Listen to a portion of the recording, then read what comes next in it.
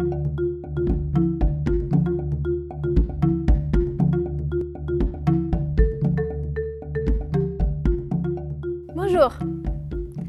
Aujourd'hui, nous allons commencer par voyager un peu dans le passé et remonter jusqu'à la fin du 19e siècle.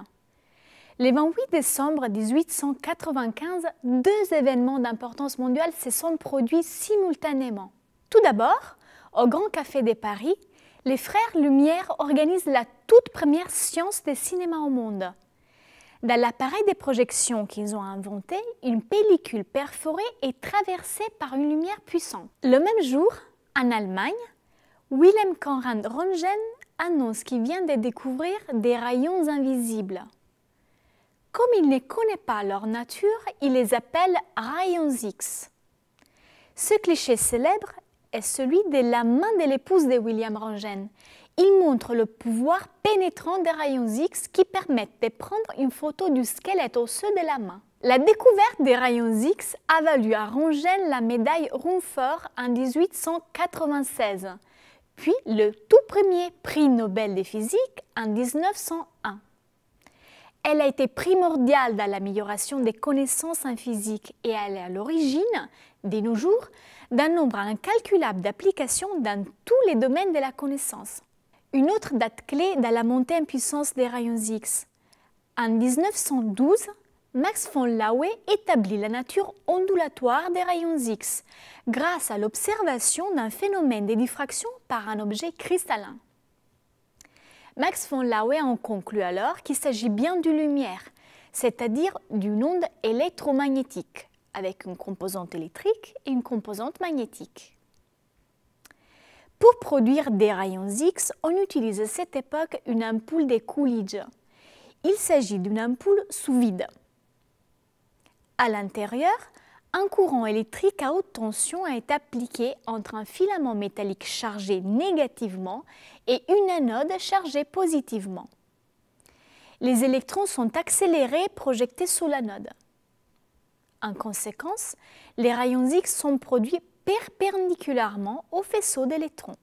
Lorsque les électrons arrivent sous l'anode, ils sont brusquement freinés et sont déviés par le champ électrique des atomes de cette cible. La déviation de la trajectoire est associée à l'émission du rayonnement X. Selon la nature des atomes rencontrés sous la cible, le rayonnement X émis ne sera pas le même. Il n'aura pas la même longueur d'onde. Ainsi, chaque élément de la classification périodique est capable d'émettre un rayonnement à une longueur d'onde caractéristique. Les éléments les plus utilisés pour un générateur à rayons X pour la cristallographie sont le cuivre, le molybdène, le manganèse ou le cobalt. Leur longueur d'onde d'émission est de l'ordre de l'angstrom, 1,54 angstrom dans le cas du cuivre par exemple. Il s'agit donc des longueurs d'onde compatibles avec l'analyse de la structure atomique.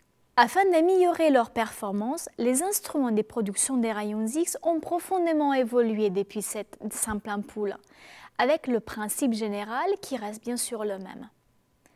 Pour mesurer la puissance d'un faisceau de rayons X, on parle souvent de sa brillance, qui est liée au nombre de photons par seconde et donc à l'intensité de la radiation. Sans rentrer dans les détails, un moyen d'améliorer la puissance a été d'utiliser une anode à métal lourd et un vide plus poussé. Ensuite, comme l'anode avait la tendance à chauffer énormément, on a utilisé une anode tournante. La rotation de l'anode permet de diminuer l'échauffement et d'augmenter encore plus la puissance des tubes.